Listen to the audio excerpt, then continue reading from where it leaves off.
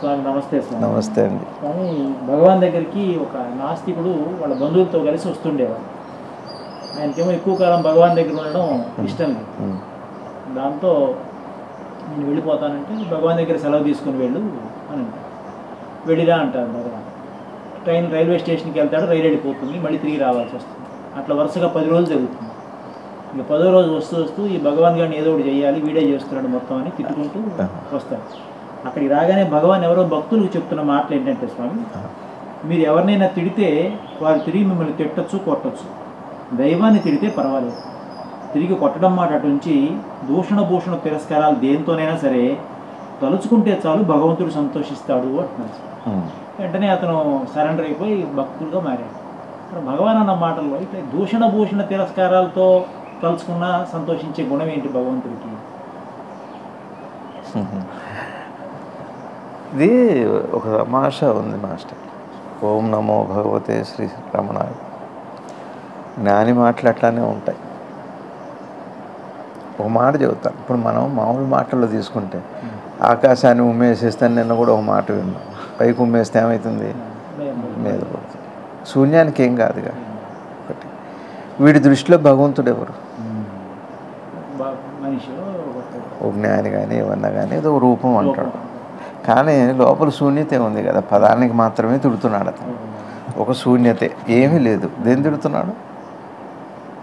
దేని తిడుతున్నాడు? తను దేనికి ఆపాదించాడో దాన్ని తిడుతున్నాడు. ఇప్పుడు నేను మిమ్మల్ని తిట్టాను నేను. ఇప్పుడు ప్రమాదమేనా? పొగిడే నాకు ప్రమోదమే. ఈశ్వరుడు అనేది మీరు దేన్ని ఉద్దేశించి అంటున్నారు? ఉందా అట్లాంటి వస్తువు అని ఆలోచిస్తే? అది చేరదు. కాబట్టి అతని నుంచి ప్రమోదం కానీ ప్రమాదం కానీ ఉండదు. అయితే అతను తిట్టేటప్పుడు ఇప్పుడు భగవాన్ దగ్గరికి ఆయన వచ్చారు ఇష్టం లేదు నాస్తికుడు ఇవన్నీ ఇష్టం లేదు అతను ఈ వ్యవహారాలు ఇష్టం లేదు. సరే అక్కడికి వెళ్ళాక రైలు మిస్ అవ్వటం పదిసార్లు అయింది మళ్ళీ వచ్చి స్వామి వారి దగ్గర తిట్టుకుంటూ వస్తారు. ఈయన వల్ల ఇదంతా అయిందని ఏమో అంటున్నారు. భగవాన్ ఏమో అప్పుడు బోధ చేస్తున్నారు. ఏమంటున్నారంటే భగవంతుని తిట్టినా దూషించినా? తిరస్కరించిన? తిరస్కరించినా? ఏ ఉద్దేశంతో తలుచుకున్నా సంతోషం. సంతోషం.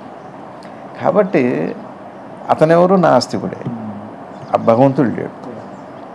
సరే. భగవంతుడు ఎట్టున్నాడని చెబుతున్నారు? నాస్తికుడికైనా ఆస్తికుడైనా వాడు అనుకున్నట్టుగా కాదు వాడు అనుకుంటున్నట్టుగా కాదు. అనుకుంటున్నప్పుడు ఉన్నది కాదు. అనుకోకుండా ఏదైతే ఉందో అది. మీరు ఒక మాట చెబుతా చూడండి. మీకు ఏదైనా తెలియంది మీరు ఒకదాన్ని మీరు తిరస్కరించిన దూషించిన ఇంకేదైనా చేసిన శూన్యతలోనే జరుగుతుంటుంది. మీకు అర్థం? అదిగాక మన పురాణాల్లో కూడా భక్తుల్లో మ్, మరి ఆ హిరణ్యకాశిపాదులు రావణుడు వీళ్ళందరూ ద్వేషంతోనే పరమాత్మ దగ్గర అయ్యారు.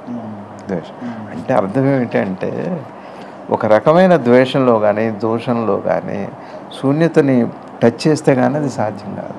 శూన్యతలోకి వెళితే కానీ ఈశ్వరుడు విషయంలో తిట్టాలన్నా మీరు ప్రార్థన చేయాలన్నా శూన్యంలోకి వెళితేనే సాధ్యమవుతుంది ఆ మనసు ఆ క్షణం శూన్యత చెందినప్పుడు మాత్రమే ఇది బాహ్యంలో దృశ్యమానంతో సంబంధం పెట్టుకొని కానీ క్రియ చేయాలి.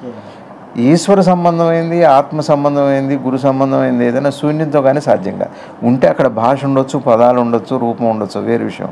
కానీ శూన్య సంబంధం జరిగేది ఇదంతా.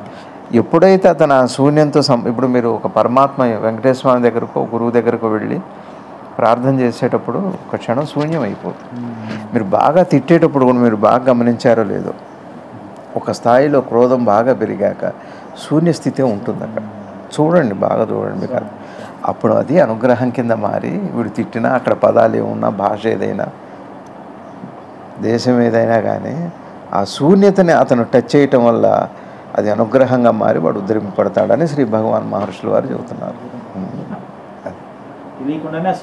చేస్తున్నాం. అట్లా.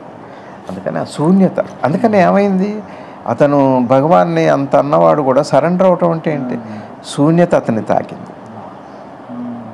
శూన్యత. ఇప్పుడు శూన్యంలో నేను ఉమ్మి వేశాను నేను. ఏం జరుగుతుంది? పైకి విసిన రాయి కిందకి రావాల్సిందే. ఇక్కడ కూడా ఏమవుతుంది అంటే పైకి విసిన రాయి భౌతికం కాబట్టి కిందకు వస్తుంది. దాన్ని ఏది తాకలేదు. ఇక్కడ అట్లా కాదండి. ఇక్కడ శూన్యతలోకి వెళ్ళిన తర్వాత ఆ క్రోధంలో కానీ ప్రేమలో కానీ పారవస్యంలో కానీ ఏ విషయంలోనా కానీ జరిగేది ఏమిటంటే శూన్యత అవటం. ఇక్కడ జరిగేది ఇందాక కృష్ణమూర్తి గారు చెప్పినట్టు సాఫల్యత తాత్కాలిక సంతోషమేమో ఏవో ఫలాలు ఉంటాయి అవి అనుకూలతో ప్రతికూలతో. ఇక్కడ ఫలం ఏమిటంటే నిన్ను నిరంతర శూన్యం ఖాళీ చేయటమే గురువు ఉద్దేశం అది అతను సంపాదించిన ఫలం. అది దైవం ఎప్పుడు కూడా మీరు తిట్టండి పర్లేదు.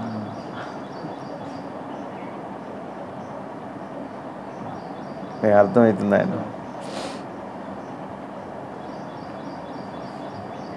అనుభవించాడు అది పెద్దలు చెప్పిన మాట. ఇది భగవాన్ రమణ మహర్షుల వారి అనుగ్రహం.